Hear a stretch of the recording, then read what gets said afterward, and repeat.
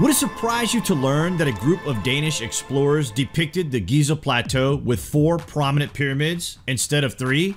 Described as being a black pyramid in the 1700s by Frederick Norden, who detailed this region extensively during his voyage of Egypt. He also describes as well as draws accurate accounts of monuments, hieroglyphics, and even local people during his time here. Everything checks out except one thing the fourth Great Pyramid of Giza. Wait till you hear this. This explorer was a very reliable source of information for this time period. The length he had to go to confirm and describe to the Danish people of the wonders of Egypt are staggering. He had no reason to lie about another Great Pyramid, so what happened to it and why is it gone?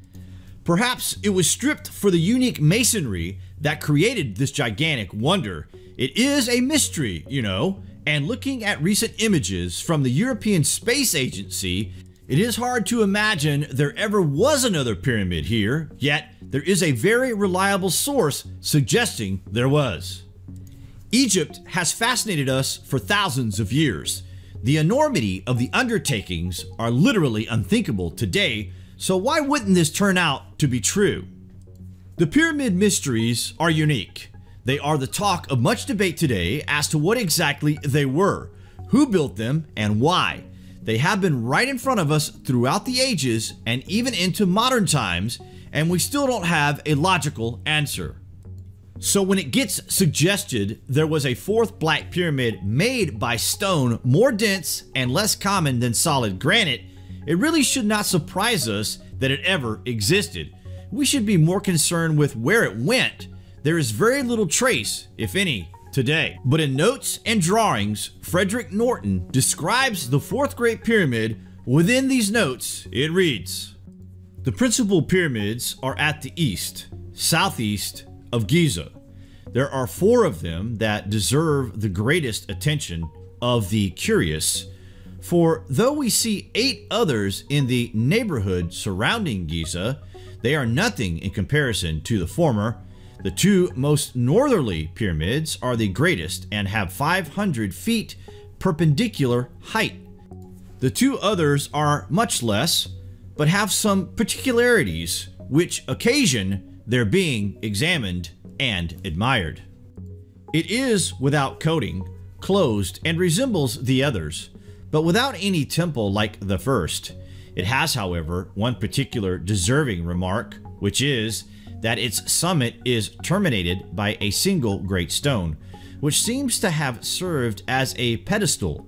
The fourth pyramid has been made, upwards above the middle, of a stone more black than the common granite, and at least as hard. Its summit is of a yellowish stone. I shall speak elsewhere of its top, which terminates in a cube. It is, moreover, situated out of the line of the others, being more to the west. It makes a series with the three others. Today, experts have still not found solid evidence of a major black pyramid at the Giza Plateau, but that doesn't mean it wasn't there. There are some authors who suggest that this lost pyramid was in fact destroyed in the late 18th century, and the pyramid's stones were utilized in the construction of the city of Cairo. So, in itself, Cairo may have been built by the lost pyramid. We know for a fact that there are numerous structures that still remain hidden beneath the ground. Perhaps the remains of this majestic pyramid are also located hidden underground, waiting for the day someone lucky enough will stumble across its glorious foundation, revealing to the world that Egypt is still filled with mystery and that we are on a long journey to discover the real history of Egypt. This seems to be common practice in Egypt these days, who seem to hide history based on the notion it is not in line with what the world has believed of this region. In particularly, if they cannot squeeze the historical elements into the dynastic period of Egypt, then they destroy, bury, and even deny the existence of major feats of engineering brilliance that not only predates the dynastic Egyptians, it also predates the Great Flood and takes history back to the true timeline of our civilization when human beings literally walked among the gods, the Golden Period. a period so grand in design and achievement that it is not so easily swept under the sand. The evidence is certainly there for the fourth pyramid of the Giza Plateau. Who built it and why remains the greatest enigma in the history of our civilization regarding lost history and forgotten civilizations. What do you guys think of the evidence for a fourth pyramid, the Black Pyramid?